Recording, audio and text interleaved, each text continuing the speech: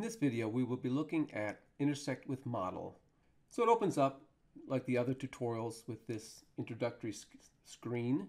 And then clicking on two, we see very interesting shapes made out of just SketchUp. They'd like you to right click on the objects and also look at this intersect faces option on the context menu, the right click context menu. These shapes were made using intersect faces. Click on tab 3. This is the first introduction to it. It's a simple shape here. Uh, it looks like the two pieces of paper intersect each other, but they're really bypassing. You see there's, there's no line here. And so if you select that top portion and try to erase it, the bottom goes away too. So in this case, it's all one piece. They're basically bypassing each other. They've not actually, the surface has not been broken, and so they're one piece. Click on tab 4. So they say one thing you can do is to draw a line to separate the two planes. So using the line tool, I'll click here and then click over to here. And now, because I've done that, this plane has now been separated. Click on Scene tab 5. Now I can go ahead and select the top portion and delete it, and the bottom portion remains because they are separate. They've been separated by that line.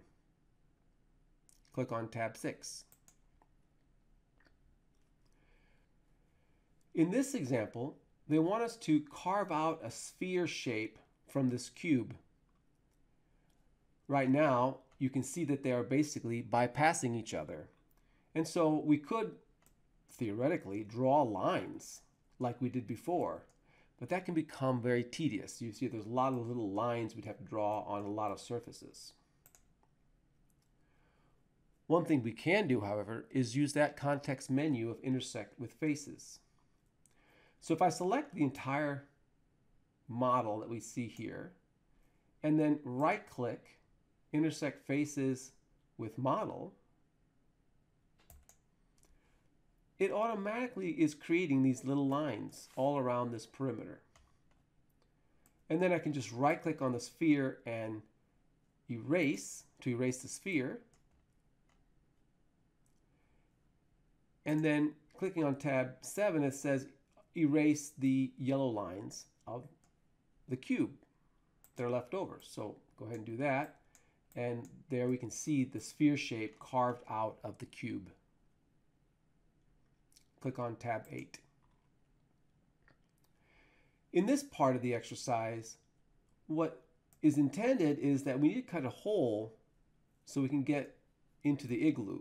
Right now we have an igloo shape with an igloo entrance and we want to try and get in there. And so they say, hey, using intersect with model is the way to get all these little edges to connect together. So they want you to select, triple click on the object. So using the selection tool, triple click, right click, intersect faces with model. And then clicking on tab 9, they zoom up on this area and you can see that the lines have been drawn that they weren't drawn before. If I undo, you see the lines aren't there. So originally they weren't there. Then if I redo, you can see the lines back here again. Now that we've done that, we can go ahead and start deleting faces and, that are intersected. So click on Scene tab 10, and they basically want you to erase all the yellow lines. What I like to try and do is double click on the back here, and by doing so, I select the edge and the surface, and hit the delete key on the keyboard. Not the backspace key, but the delete key on the keyboard.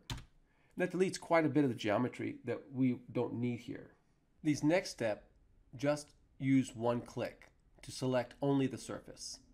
Hit delete again, select the other surface, delete, and the underneath, delete. All we have now are these lines to contend with. I find this is the best way for this particular geometry to erase items. Now I can go ahead and either use the eraser tool or use the delete key, the select delete method, and get rid of the rest of the lines. So select delete would be select this line, delete, key, select this line, delete key, select this line, delete key. Using the eraser would be to just click on that line with the eraser. So either way, it's kind of doing the same, same thing using the eraser or the delete key.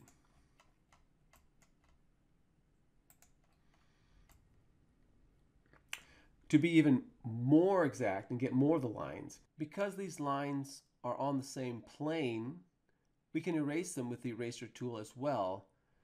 Just click and drag across the line, and when you let go of your mouse button, the line will disappear.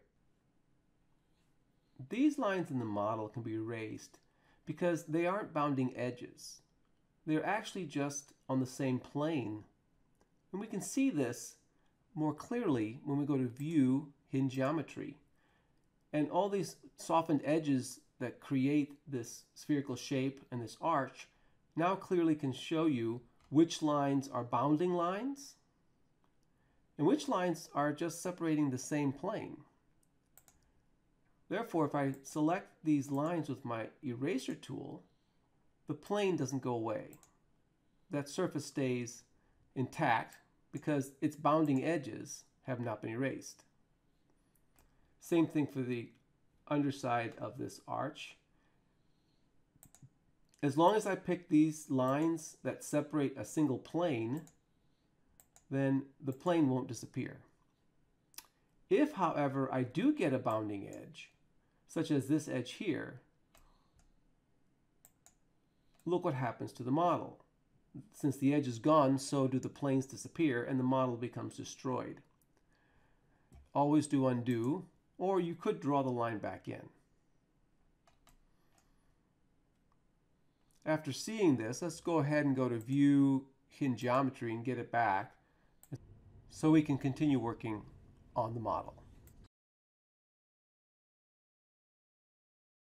Underneath, same thing. You can change color. It's just the line doesn't want to go away. And then on the inside as well. We need to be somewhat careful though because we might erase the wrong line. And I'm just clicking and dragging this eraser across this line. And that is cleaned up nicely.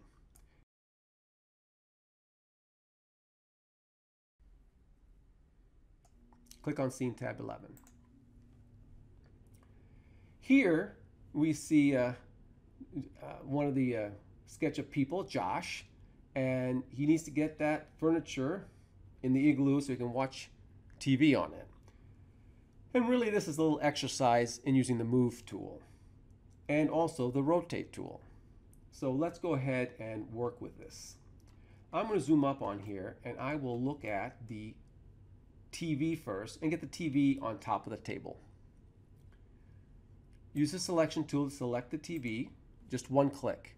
You don't want to do two clicks on the TV because if you do, you'll go inside the component, the world turns kind of grayed out, washed out, um, and that's not what we want.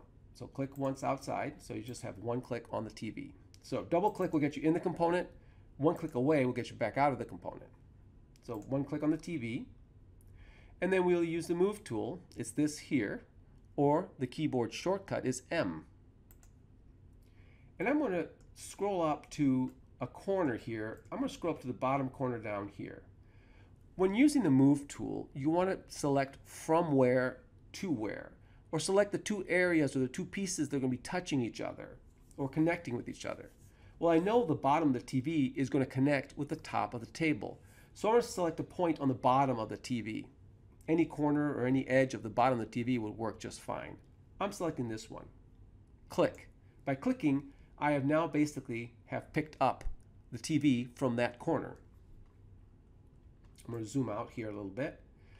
If I can, sometimes I can get it right on top at once. It looks like in this particular orientation, in this view, I can get that TV sitting on top of that table. Sometimes it's not quite so easy. In this case, I can just click and the TV is fine. But what if I had a problem and I couldn't get the TV to quite line up exactly right on the table? It happens sometimes.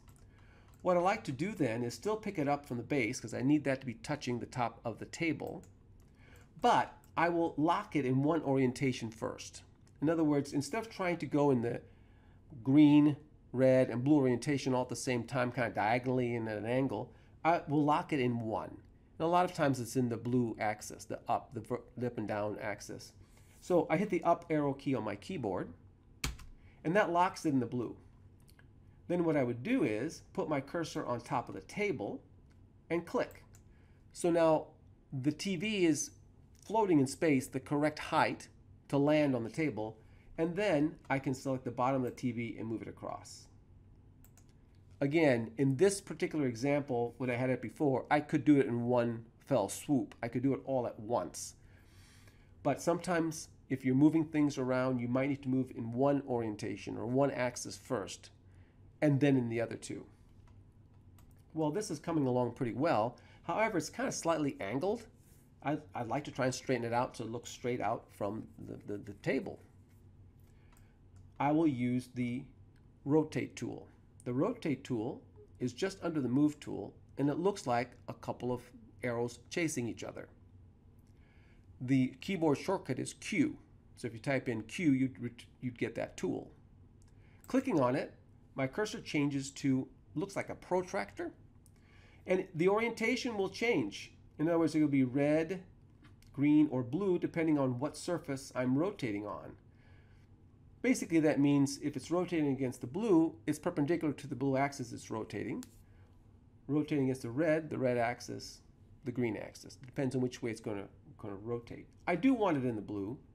And to lock it in the blue so it doesn't move around, like it does here in this example, where it's moving around and it's changing the, the angle, I'm going to hit the up arrow key.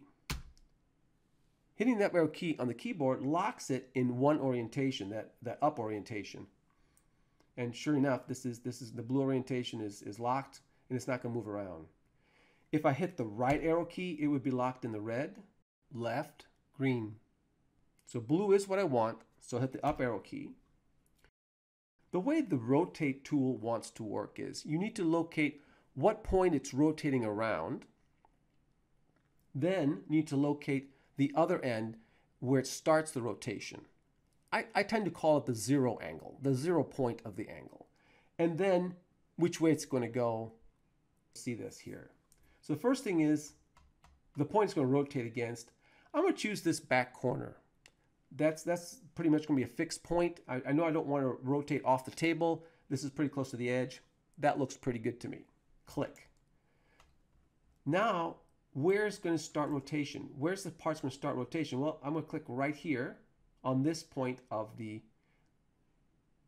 TV, click. And now you can see what I'm talking about. The one point is fixed and the other point can be moved around.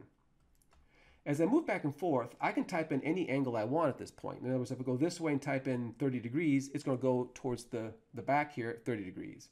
If I go forward, type in 30 degrees, it's going to go forward 30 degrees. In this case, I want to parallel with the front, and so I'm going to just kind of move back and forth until my cursor says on green axis, and that is parallel with the front of the table. The tables in are, are orthogonally lined up. Click.